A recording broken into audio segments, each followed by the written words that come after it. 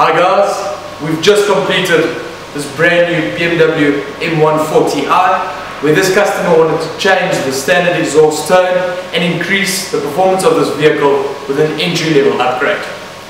This customer chose our Techniflow 76mm full stainless steel high performance exhaust system that includes the 101mm Techniflow downpipe from the turbocharger. That performance upgrade includes the dual tone exhaust variation.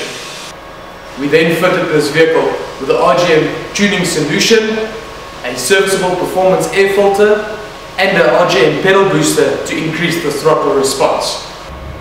This vehicle produces 250 kilowatts and 500 newton meters in standard form and after our entry level upgrade this vehicle now produces 295 kilowatts and 625 newton meters of torque.